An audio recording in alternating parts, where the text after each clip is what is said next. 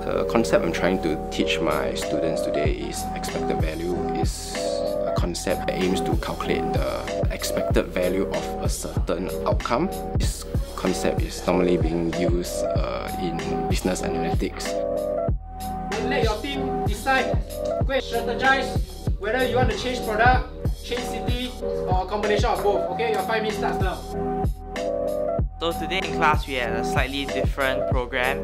So we played this game which is quite similar to Monopoly actually. So we were tasked to be paired in groups of two or three and we had to choose between either chicken soup or ice cream and try to sell the product. It's different because we are actually learning through a game process. Like you would usually think that during classes it's just students sitting like in rows and listening to the teacher talk, talk, talk, talk, talk, and just write down what he or she says. If we learn through a game, I think that students are able to learn better because most of the students will feel very bored and will start to fall asleep in class. Like, I don't think any teenager will want to sit down and just do worksheets for two hours straight. So I think this type of program is a very good change. Like, just to give the give let the lesson become more interesting and allow the student to take more interest in the subject and yeah, have a better time in class.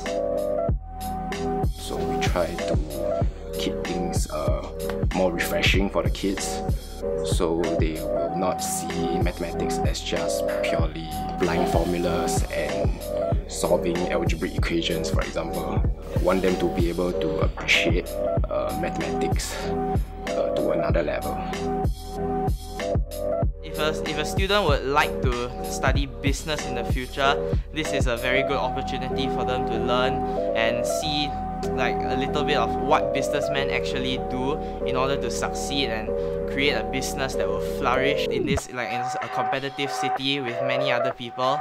So yeah, I think it's really good for the people who are interested in taking up business in the future.